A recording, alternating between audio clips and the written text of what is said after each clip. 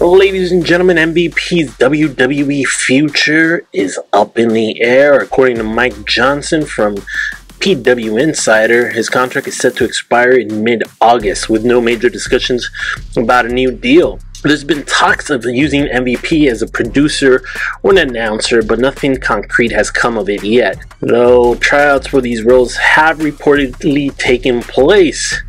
He was horrible with Omos. He was amazing with the Hurt business.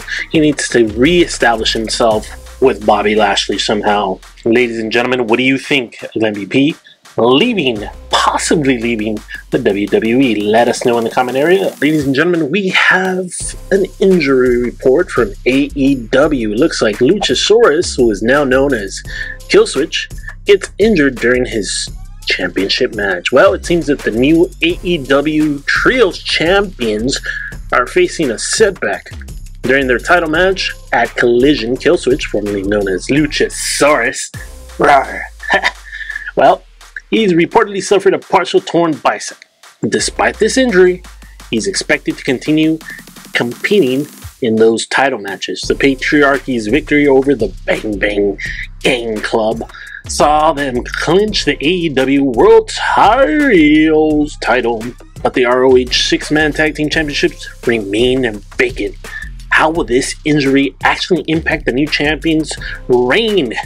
Stay tuned to find out, ladies and gentlemen. Ladies and gentlemen, is Bobby Lashley leaving the WWE? That's the question we all have.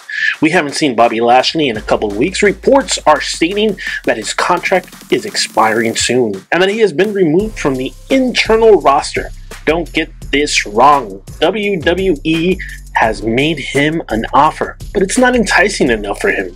According to Fightful Select, Lashley plans to keep wrestling even if he exits the WWE. Where can he go? AEW, TNA, New Japan? Well, one of the big rumors so far is that he might join AEW along with his homeboy MVP, who might be leaving also in mid August, potentially reuniting the Hurt Business faction with Mr. Shelton Benjamin.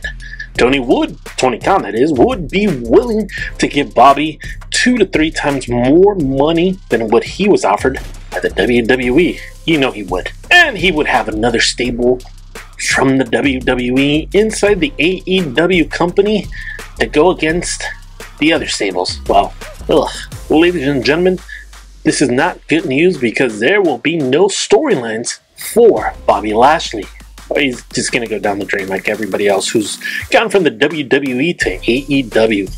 I personally liked what he and MVP did in TNA or what was called Impact, where the original Hurt Business originated from, and would love to see them go back to TNA and showcase what they can do. Then again, Drew McIntyre's contract was expiring as well this year, and he's still in the main event storyline with CM Punk, Damian Priest, and Seth freaking Rollins. This could be a BS rumor. What do you think? Let us know in the comment area. Don't forget to like, subscribe, and follow.